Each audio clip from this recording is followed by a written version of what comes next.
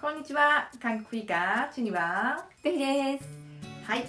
今日は2月10日になんと韓国の方からヒョンビンさんとソン・イェジンさんが結婚しますというね発表がありましたのでそのことについて賛否のレビューをしたいと思います。火はないやろ。いやいやいやいやまあまずはまあおめでとうございますね。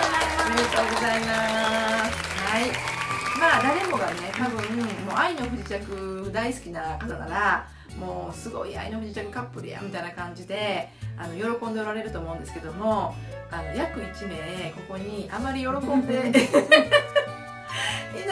いるっていうことでねもう緊急にちょっとこれはお話ししたいなと思って。そうそう、だからさあの、愛の藤崎レビューをさ、はい。5本ぐらいかな、そうやねしてるんだけど、はい。その中で、その2人が付き合ってることに対しての、うんうんうん。私は全然いいと思うっていうのと、チニネは、ないわーってすごく強く言ってた動画があるんだけどまだ配信してなくて。そう「愛の不時着」のレビューの途中で、まあ、あの二人付き合っほんまに付き合ってるやんなって話から「いやそれないわ」って言ってでなんでないかっていう話をもう一回二人で実は撮ってて、それをねなんかもう編集する気になれへんかってん。投げる気に。なんでかって言ったら割とこう否定みたいな感じのことを言ってるからどうしようかなって悩んでる間にまあでもどなたかがコメントであれすごい古いあの去年のレビューなんだけどもその動画も編集したらあげてくださいって言ってくださる方がいらっしゃってでまあそろそろあげようかなとかは思ってた。出先のこの秘宝や。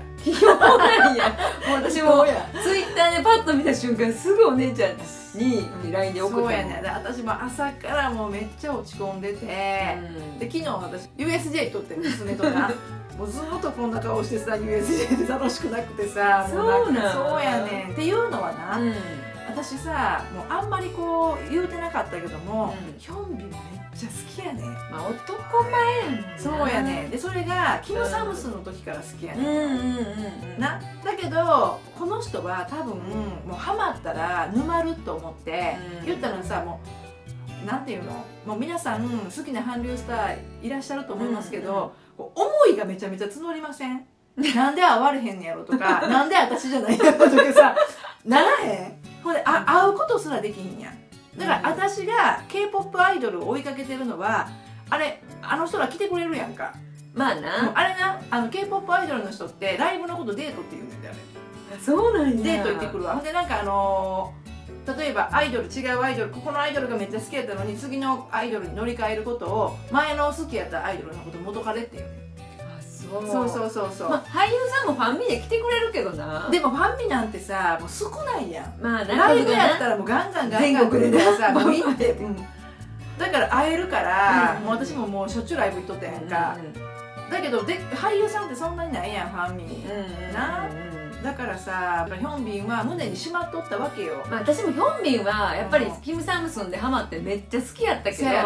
私移り気やからさどんどんどんどんやっぱドラマごとに変わっていくねん、うん。ででもかっこいいのは間違いないし、うん。好きやけど沼までに私は行かないタイプ、まあうん。行くけどもすぐまた次の沼にはまるっていうはいはいタイプやから。これがいいよね。なんかその、うん。韓国俳優好きになって次行っても別にほらう浮気じゃないやん。うん。なあのどんだけどんだけ大好きになっても、うん。浮気じゃないからさ、うん。それがすごい楽しいっていうかさ、うんうんそうだからその「愛の不時着」見た時もやっぱりかっこいいなってもうその、うん。サムスンの時とはもう段違いにいい男になってるわけよ、誰もが大好きだな、うで他のドラマとかも見てなかったわけ。いろいろ「雪の女王」はまあ新規臭いし「シークレットガーデン」は私恥音嫌いやし。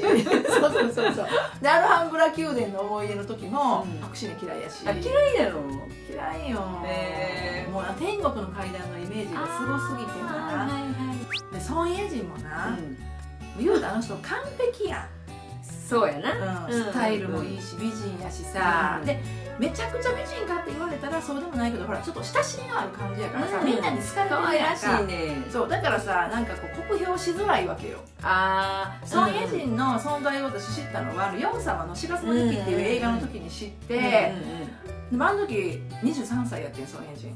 何やこの小娘みたいな感じで17年前そうそうそうそう、うん。ほんでその後ラブストーリー」っていうさ、うん。あのチョ・インソンとかチョ・スンウのさ映画がまたうんそこでもあかんかってん。もうあのあのな、うん。なんかこう垂れ目のさうん。なんかこう穏やかなさもういかにも男の人が好きそうな感じの顔がもう私あかんくて。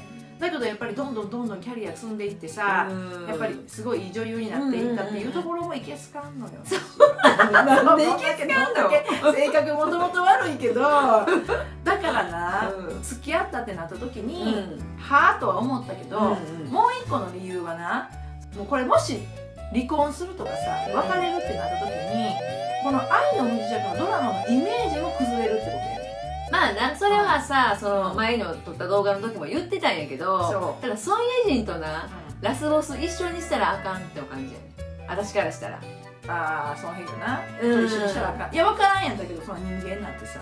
まあ分からんけどないんやただもうこれなお互いのタイミングがバッチリあっただけなんやと思うねんもう。んでも私はな、うん。ヒョンビンまあいろいろ浮き流してきたよ、うん。ね、その中にヘギョさんも入ってるしっていう感じだけども、うん。うん前の彼女がなカンソラやねん。うはいはい。で私店でカンソラめっちゃ好きになって、うんうんうん。インスタとかをすごいフォローしてただからから、カンソラがヒョンビンの彼女やって知った時にめっちゃ喜んでん。めっ可愛いもんな。ちゃ綺麗やん私もあのドリームハイの時から見ててさうん。でめっちゃ可愛いなと思ってたから。そう。うん。だからな、まあ、まあこの子と結婚してくれたらいいのになって気持ちあったんやけども、うん。まあ別れて、まあ、カンソラさんはまあお医者さんと結婚して、うん。まあ、今幸せ幸せやし、うん。でそのエンジンと付き合ってるってなった時にあの愛の不時着で燃え上がらんといてほしかったなと思って結婚するにしても。あーもうちょっとその前にもうんそのドラマあの映画で共演してるからな。うんしてるし、うなんか別のことで別のタイミングで付き合って結婚したんやったらいいけど、もう言うたら愛の不時着結婚みたいな感じやん。うん、要はなんかネットでもなうん。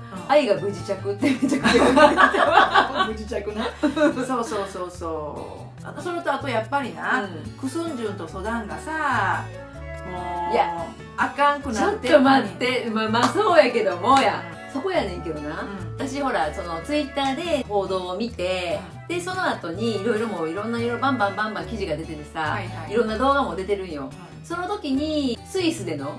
再会のシーンがあったんよ、んあのエーデルワイスのな。そうそう、うんそれを見た時に私ゾワゾワゾワってもう鳥肌立ってん。やっぱ結婚報道の後に見たら。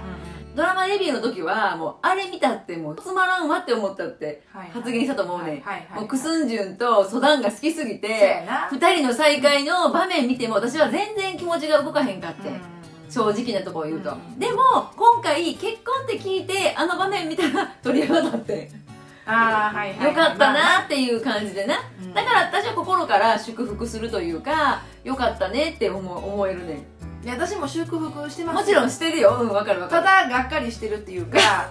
そういう人もおるかおると思う。だって日本でもさシングルの俳優がさ結婚してたらもうみんなロスになるもうすもんなごいやん。わかるわ。会社休みますとかさ。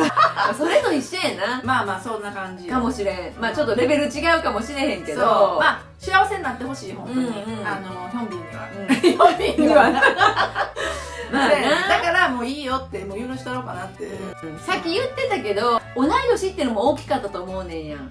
これ。だからまあなんでタイミング？若い子もいたったな言ったら韓国の芸能界いる中で今40であるソン・イェジンを選んだっていうのはやっぱすごいと思うよ。そうやな、うん。よっぽど会うたんやわ、うんうん性格もやっぱりあったんじゃない？うん。だけどもう昨日も一日もなんか朝からさ気分悪かったんやもう悪かったっていうか落ち込んでさ、うん。えーまた男前独身一人減るんですかみたいな 結婚させたらもうや。そうやな。自分ができるわけでもあるまいしな。そう。うん、それは私とした方がもう非難合々やわ。誰ですかみたいな。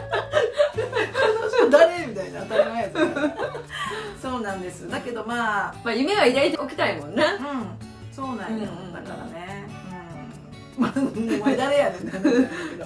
まあこのまま本当に幸せになってくれたら、うん。あの愛の不時着ね、うん。あれもずっとこいうやああのまま幸せのそうやねなんて続きって続編ずっとっていう感じで、でやっぱりさあのものすごい大ヒットどころじゃないやんあのドラマって。だからもうタイトルとかがさ「もう世紀の結婚」ってやっぱり書かれてたからもう世界的に祝福されるわけやんか婚しにくいしで離婚したらまためっちゃ喋るでやっぱりとかほら見ろとかめちゃめちゃ言うと思うから なあまあでもしないと思うけどな。